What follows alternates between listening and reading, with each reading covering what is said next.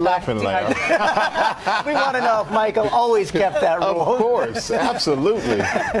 Number three, try to maintain a healthy sleep and exercise routine. That makes a lot of sense. Also says to switch up your workouts to keep from getting bored and to accept if you have a bad day, it's going to happen. Yeah. Every Yeah. time work out, it's Sometimes your to legs just feel like they weigh a thousand pounds, and there's no. But I like the it. last one to switch, it up so it you up. don't get bored. yeah, it makes a lot of sense. Well, and the no alcohol thing does make a lot of sense. Even though you laughed at it, you scoffed at it. Before your big tennis matches? Come on. Yeah, what? Yeah. Also this morning, as summer comes to a close and students head back to school, lots of people are seeing fall as a time to start fresh. Shape Magazine is sharing a few pointers for how to make your own autumn resolutions. They're similar to New Year's resolutions, but they start in September. Experts say fall is a more natural time to get serious about that. making lifestyle changes. I do too, George, and suggest getting started by writing down your goals. Make simple changes like starting with an early bedtime, trying out new activities. And I agree because you think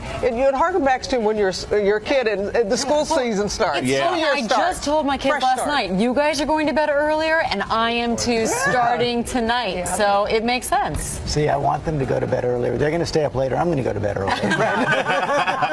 I will say, it's like now it's two times a year that I can fail at my resolution. Oh always make them. No! No, they, t- they say that January you could reassess. Oh, okay. Good idea. Yeah, something like that. Reassess. I'm in a constant state of reassessing. That you are. And we want to know what's your autumn resolution. Tweet us using the hashtag Social Square. Let's hear from you. Well, mine is I won't drink 48 hours before any physical activity. How about that? and uh, also on our heat index, people are getting a real kick out of this one. It's, it's a serious sneaker reboot featured in the New York Times. Check these out, all right? At first glance, they look just like your average tennis shoe, but these are actually made out of a material called Tyvek, which is like paper. bag. Yeah. Wow. And these things that Tyvek is normally used for, for labels and book jackets.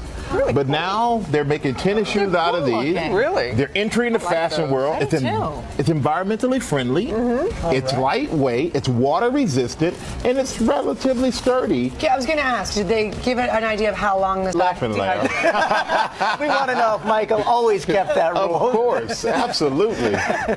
Number three, try to maintain a healthy sleep and exercise routine. That makes a lot of sense. Also says to switch up your workouts to keep from getting bored and to accept if you have a bad day, it's going to happen. Yeah. Every time you work just Sometimes your legs just feel like they weigh a thousand pounds, and there's no. But I like the it. last one to switch, it up Switch so it you up. don't get bored. Yeah, it makes a lot of sense. Well, and the no alcohol thing does make a lot of sense. Even though you laughed at it, you scoffed at it. Before your big tennis matches? Come on. Yeah, what? Yeah. Also this morning, as summer comes to a close and students head back to school, lots of people are seeing fall as a time to start fresh. Shape Magazine is sharing a few pointers for how to make your own autumn resolutions. They're similar to New Year's resolutions, but they start in September. Experts say fall is a more natural time to get serious about making lifestyle changes. I do too, George, and suggest getting started by writing down your goals. Make simple changes like starting with an early bedtime, trying out new activities. And I agree because you think